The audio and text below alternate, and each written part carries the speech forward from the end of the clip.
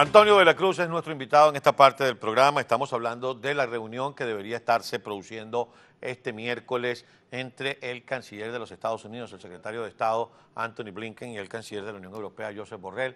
Venezuela está en la agenda, el tema electoral está en la agenda y luego de este análisis le dejaba yo una pregunta a Antonio y que tiene que ver con el tema de la tan ansiada eh, unidad por parte de la oposición a pesar de que todo está conduciendo, a pesar de que Blinken dijo de manera clara y contundente que dejaran de contar con una intervención por la fuerza, de una intervención militar, de una intervención armada, continúan algunas fracturas en el modus operandi de la oposición. ¿Cómo hacer?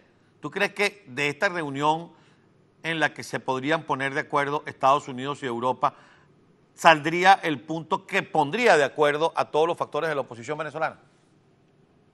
Si es una, una recordemos que otra de los eh, argumentos que dio la nueva administración es que las acciones de Estados Unidos van a ser con multilateral y van a ser con la comunidad internacional. Entonces ellos van a buscar un frente común para poder actuar. Si esa es la decisión que toma Estados Unidos conjuntamente con la Unión Europea, la oposición tiene que alinearse porque el respaldo de Estados Unidos es lo que le ha asegurado seguir con la, con la propuesta que tiene hoy en día. De otra manera, la oposición estaría desinflada, sobre todo el gobierno interino. Entonces yo creo que aquí, si llegan a ese acuerdo conjuntamente con Josep Borrell, la oposición se, alinearía en este proceso. Porque cuando me dejabas en, el aire, ¿qué parte de la oposición? Por ejemplo, sabemos que los que iban a participar en, en las elecciones parlamentarias son los que también, de la oposición, son los que también quieren participar en una elección regional y de alcalde. En ese sentido tenemos entonces quiénes,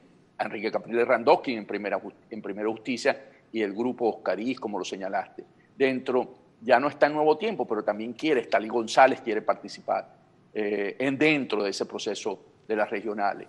Acción Democrática ya está actuando y está buscando cómo participar.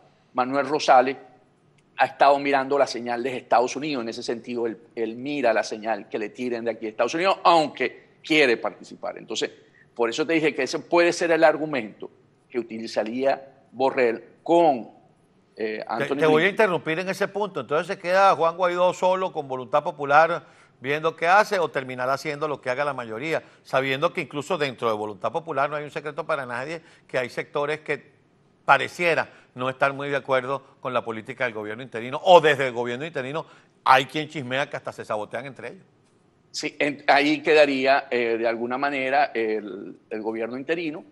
Le tocaría asumir en ese momento el salir un paso adelante para no quedarse afuera. Yo creo que si ese es el acuerdo, el, en este momento no están en esa posición de ir a, las regionales, son los que no están. Pero ¿Tú crees, perdón, perdón, porque ayer, ayer pusieron sobre mi escritorio una, una, un tema que simple y llanamente no, no, quiero, no quiero restarle credibilidad, pero lo quiero compartir contigo.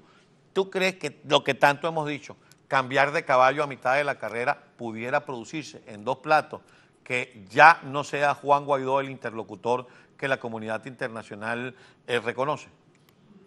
Para Estados Unidos le cuesta mucho por toda la, arquitectura que tiene, o sea, cambiar a Estados Unidos le cuesta muchísimo porque está todo estructurado y todo su soporte está sobre el gobierno interino y reconocen que en esa figura está Juan Guaidó.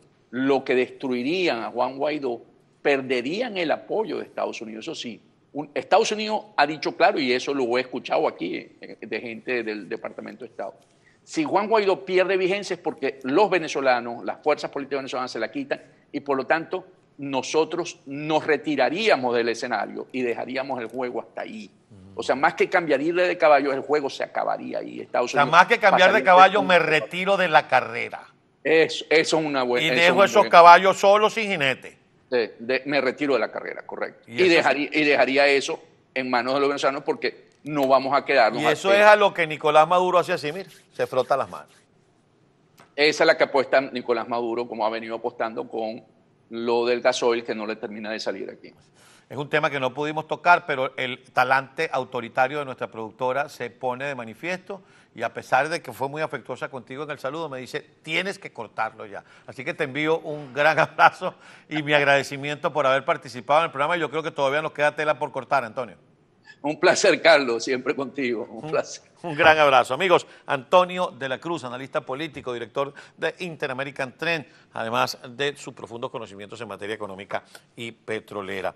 Y usted tiene que enviar una cajita a Venezuela o usted tiene que enviar una cajota a Venezuela. Usted tiene que enviar una carguita a Venezuela o quiere enviar su carga a Venezuela. No importa el tamaño de su carga. Para nosotros sigue siendo importante. ¿Y quiénes somos nosotros? Aguacate Express Logistics. Sabemos que su tiempo es oro y por eso, para su comodidad, tenemos representantes en importantes ciudades. Aquí, aquí en el sur de la Florida, tenemos en el condado Miami-Dade y tenemos en el condado Broward. En la Florida Central, en la ciudad de Orlando y algunas ciudades vecinas, pero también en Nueva York, en New Jersey, en Boston y en Filadelfia. Usted entre en nuestro sitio en internet, aguacateexpress.com, y allí va a conseguir dónde están esos representantes, esas oficinas receptoras. Porque desde una medicina hasta una carga pesada, usted la puede enviar con nosotros, que le garantizamos seguridad, seriedad y sobre todo puntualidad a la hora de su envío. Aguacate Express, líderes en envíos aéreos y marítimos. Venga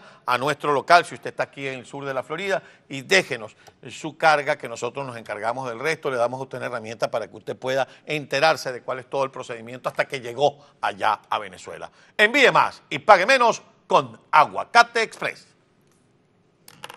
Thank you.